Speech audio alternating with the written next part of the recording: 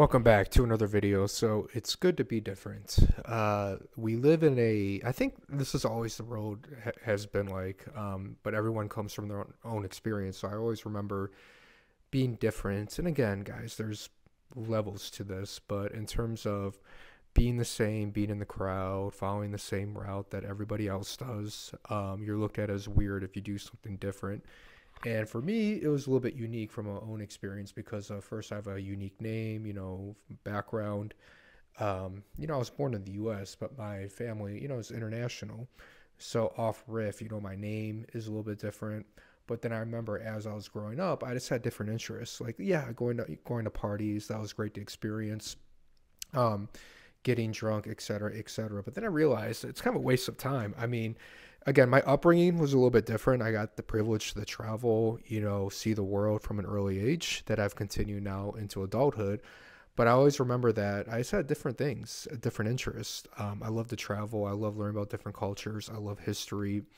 Um, you know, as I got into college, I was very intrigued by entrepreneurship.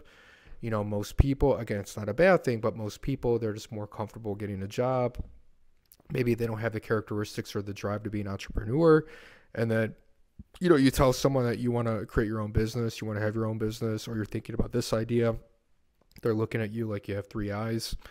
Um, why don't you have a family? Why don't you have a house? You know a house in terms of like a mega mansion yet that you're just wasting your money at a young age. Like all that it didn't interest me.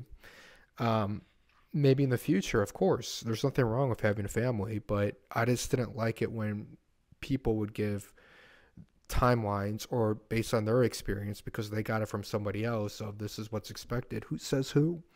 You know steve jobs i remember a famous video he mentioned that like the world you know we have like a lot of these imaginary rules that you know we society came up with. And again that doesn't mean that you become a degenerate. Obviously don't do anything illegal. You know you still have to be a good person you know a law abiding citizen but you don't need to follow the norm um, and you're not weird if you're not if you don't follow the norm. If you want to that's fine and maybe that's not even normal. Again these terms could be made up in terms of what is normal and what is not but if you're in a position where you're not like you find yourself that you're you don't have like the same interest or what other people are doing doesn't vibe with you i'm saying that's fine and it's good to be different you know everything look at all the um, ceos anyone who's ever done anything in this world are they normal people? Did they go the same route? No they didn't. You know they were you know they had some creativity with them um, to them and they wanted to pursue it just to see where it led and then maybe they found a passion in it and for them it's not even work and you know that's what they're known for. I'm not saying you're going to be the next picasso but whatever it is that you're doing in today's day and age when you have so many opportunities with technology now with ai um, with the internet uh, you know all these creative ways of maybe creating a career um, living a different type of life than maybe our parents or grandparents generations didn't have the opportunity to do so why not pursue it? Um, you know, at, when you're young, it's normal that you don't want to be different. You might be made fun of. You know, that's normal. But I think when you get older, hopefully you can you should start to not give an f. You know, you should start to care less about what others think about you because um, it really doesn't matter. People, for the most part, focused on their own life, which is what you should as well. So you're worried about other people thinking about you that don't care about you or being judgmental of you when they're not even thinking about you. So like, what's stopping you? So if you're in this position that I was, um, it's good to be different. Uh, again, be a law-abiding citizen. I'm not saying be be like a weirdo, but explore your creativity. You know, you have nothing to lose. If it doesn't work out, or a year from now, if if you don't like it anymore, fine, do something else. Um, you don't have to waste time living up to other people's expectations or to their own timelines of the decisions that they made, which is fine for them if they like it, but then don't let that influence you because in the end, it is your life.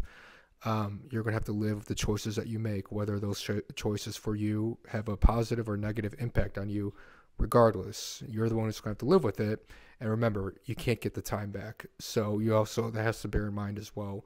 So if you're younger, great. If, you know, you're a little bit older, that's fine too.